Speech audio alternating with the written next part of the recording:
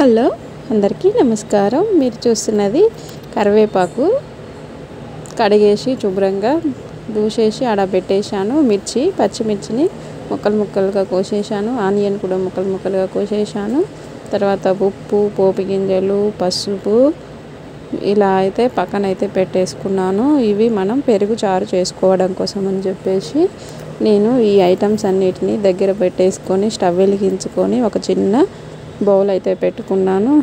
దాంట్లో ఒక చిన్న స్పూన్ అంత ఆయిల్ అయితే వేసేసుకున్నాను. మనం వేసుకున్న ఇంగ్రీడియంట్స్ అన్నీ ఆయిల్లో ఫ్రై అయిపోతే మనకి సరిపోతుంది అన్నమాట ఆ నూనె వేడెక్కిన తర్వాత కొద్దిగా పోపు గింజలు అయితే వేసేసుకొని పోపు గింజలు అంటే జీలకర్ర వామ మినపప్పు శనగపప్పు ఆవాలు అన్నీ కలిసి ఉంటాయి. వామని నేను ఎక్కువ అన్ని పిండి వంటలలో వేస్తాను. కర్రీస్లో అయితే చాలా తక్కువ. కానీ వామ తింటే చాలా మంచిది.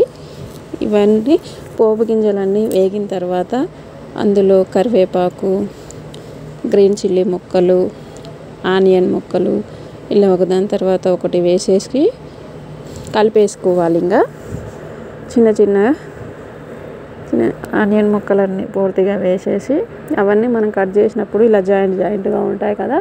అవన్నీ ఇలా విడిపోయేటట్టుగా గరిటె పెట్టేసి కలిపేసుకోవాలి.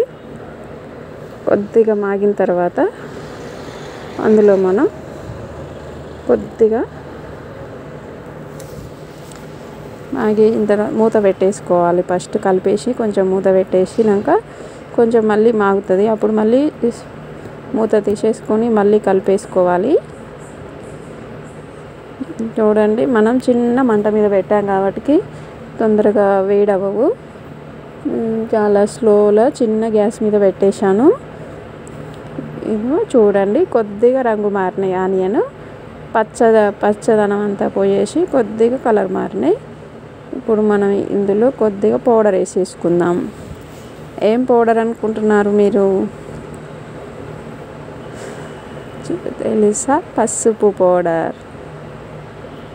పసుపు పౌడర్ వేసేసుకున్నాం ఈ పసుపు పౌడర్ కలిపేసిన తర్వాత పూర్తిగా కలిసేటట్టు కలిపేసి ఈ పసుపు అంతా నూనెలో పసుపు అంతా నూనెలో మాగిపోతుంది. ఇప్పుడు మనం ఇందులో కొద్దిగా మిరియాల పౌడర్ వేసేసుకుందాం. ఈ మిరియాల పౌడర్ని నేను పానకంలో వేస్తాను పులిహోరలో వేస్తాను. ఇలా పెరుగు సంబంధించిన చారులో కూడా వేస్తాను. మిరియాలు ఉంటే మిరియాలు తాలింపు గింజలతో పాటు వేసేసుకుంటే మంచిది. నేనైతే పౌడర్ ఉంది కాబట్టి పౌడర్ వేసేసాను చిటికెడంతా. అది కూడా కలిగి కలిపెట్టేసి ఒక స్పూన్ అయితే ఉప్పు వేసుకోవాలి మనం. మెత్తటి ఉప్పే వేసుకోవాలి. పప్పు చారులలోకి అయితే కల్లుప్పు వేసుకోవాలి. కానీ ఇది పెరుగు చారు కాబట్టి మెత్తటి ఉప్పు వేసేసుకోవాలి మనం.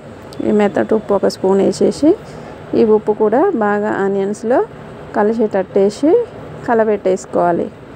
కలబెట్టేసిన తర్వాత మనం పెనం వేడి మీద ఉన్నప్పుడే మనం పెరుగు అయితే ఇందులో వేసేసుకోవద్దు. ఎందుకంటే పెరుగు అనేది ఇరిగిపోతుంది అనమాట ఈ వేడికి. అందుకని చెప్పి మామూలు గోరువెచ్చగా ఉన్నప్పుడు వేసుకోవడం కోసం ఇదంతా మిశ్రమం అంతా అయిందనుకొని గ్యాస్ ఆఫ్ చేసేసుకొని ఇప్పుడు మనం ఇందులో పెరుగు వేసేసుకుందాం. మన దగ్గర ఉన్న పెరుగు అంతా వేసేసుకొని కొంచెం పెరుగు పెరుగు గడ్డగడ్డగా ఉండాలంటే ఇలాగే ఉంచి వేసుకుంటే సరిపోతుంది. లేకపోతే కొంచెం వాటర్ యాడ్ చేసుకొని కొద్దిగా మజ్జిగ చారులాగా కావాలనుకుంటే కొంచెం వాటర్ యాడ్ చేసేసుకొని వా- మిశ్రమాన్ని కూడా ఇందులో కలిపేసుకొని మూత పెట్టేసుకుంటే కథం. ఇప్పుడు కొద్ది తెల్ల తెల్లగా అనిపిస్తుంది కదా.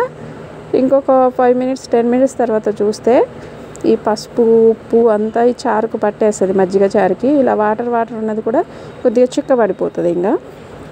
చాలా టేస్టీగా ఉంటుంది మజ్జిగ చారు. పెరుగుతో తినడం కంటే ఇలా చేసుకొని